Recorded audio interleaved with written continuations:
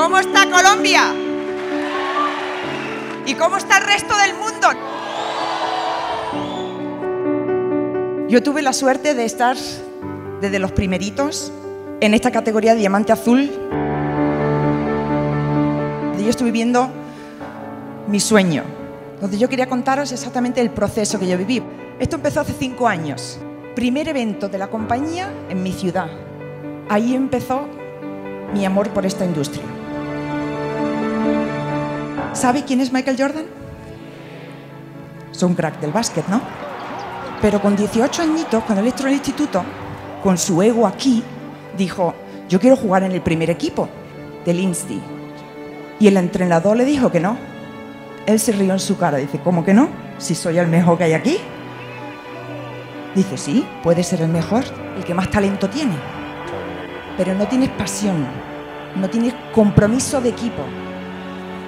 Cada día fue a entrenar. Y el siguiente año no solo era el mejor, era el más brillante. Mi secreto fue no compararme con los demás. Yo competía conmigo misma, conmigo. Si me comparaba con el resto, no iba a ser mejor que ellos, iba a ser igual. ¿Qué hice? Un plan de desarrollo personal. Primero, lo que aprendí es juntarte con las personas que están donde tú quieres estar. Y cambié el chip. Me puse a pensar lo que sí quería. Yo quería ser diamante. ¿Alguien aquí quiere ser diamante? Sonríe. ¿Qué es lo que te da miedo? Pues hazlo, con más ganas.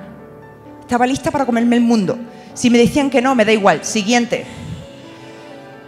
Que me decían, ah, tú eso no, no lo vas a conseguir nunca, que no te vas a enterar. Más me motivaba.